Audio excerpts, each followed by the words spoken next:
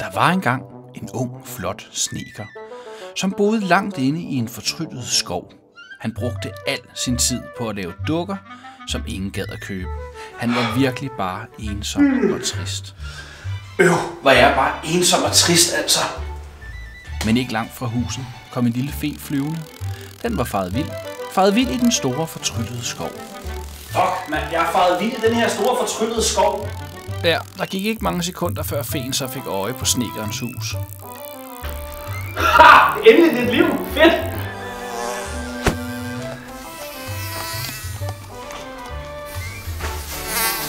Hej du. Hvem er du? Hvem jeg er? Jeg er den mest berømte og smukkeste fe i hele verden. Okay, jeg kender dig ikke.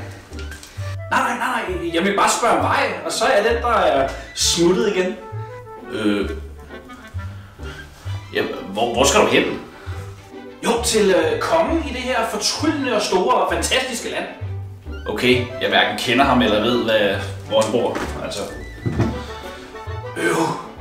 Ja, ok.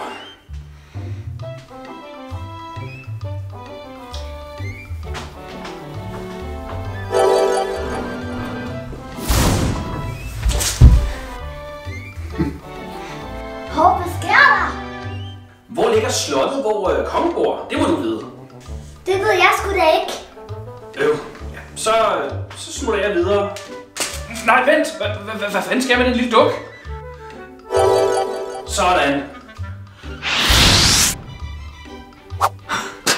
Så er du glad, ikke? Farvel. Vent, vent. Pis. Men feen var væk, og den lille dukke anede, at snekeren ikke var særlig fornøjet over hendes tilstedeværelse. Hun prøvede derfor at virke vigtig. Jeg er faktisk en meget vigtig person. Ej, stop lige med at pege på mig med den næse der. Jo mere den lille pige løg, jo længere blev næsen. Den vokser altså, fordi du ikke kan lide mig. Prøv, hvis du bliver ved med at tro mig med den næse og pege på mig, så kaster jeg dig ned i andedammen. Jeg har faktisk rigtig meget guld, som du gerne vil få. Er du fuld?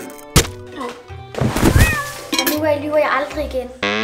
Efter nogle somre og nogle vintre, var den lille pige faldet rigtig godt til i huset, og intet skulle ødelægge hendes nye, gode tilværelse. Eller...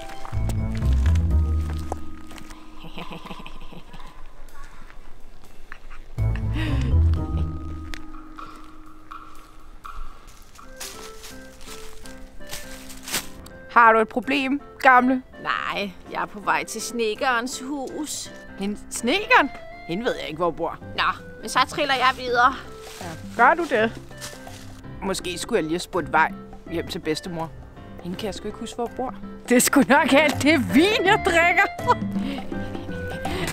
Aha.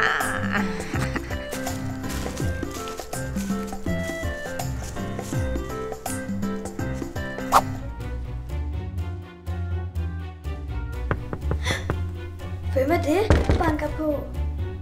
Jeg har et æble til dig. Øh, jeg kan ikke lide æbler.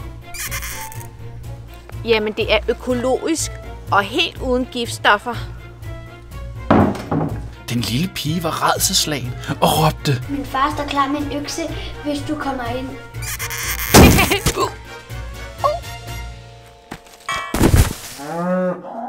Den lille morderiske pige, hun levede lykkeligt, men ensomt, til næsen af voksede hele vejen rundt om jorden og helt ind i huset. Au!